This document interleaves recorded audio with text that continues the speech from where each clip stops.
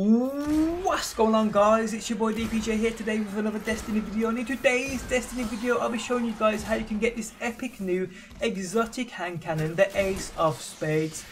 Now if you guys do enjoy the video and it helps you out, if you could leave a like at the end that would be absolutely epic and subscribe for daily Destiny content. Now the Ace of Spades is a new exotic hand cannon that come with the Taken King and to obtain it isn't very hard at all. Basically, all you need to do is rank up your gunsmith to a rank 3. He gives you an exotic quest, this being the reward. Now this weapon and the quest is exclusive to the hunter, so if you want it, a hunter you must be. I tried to transfer it to my Titan and it would not allow me. Now I have videos on the Titan and Warlock exotic exclusives coming soon, so stay tuned for that. Now the Gunsmith rank 3 exotic quest for this Ace of Spades is actually very easy to do. There's two main steps and the first one being get 100 kills while having a primary telemetry active. I did this on the Dark Beyond mission and it took me about 5 minutes. The second main step is to dismantle rare or legendary hand cannons.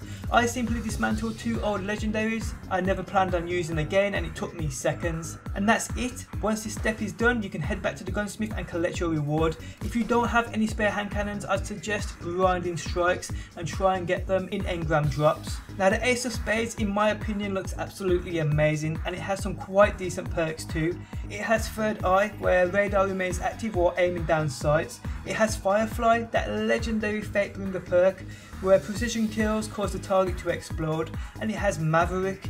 Precision kills move one round from the ammo reserve into the magazine. I'm in love with this thing, I really am. Imagine this thing when it's maxed out, it will be an absolute machine. Imagine having a group of enemies coming towards you. This thing could take them all out and if you are accurate, you'd never have to reload. Absolutely amazing, it really is. When I fully max this thing out, I'll probably do a proper review on it, so stay tuned for that.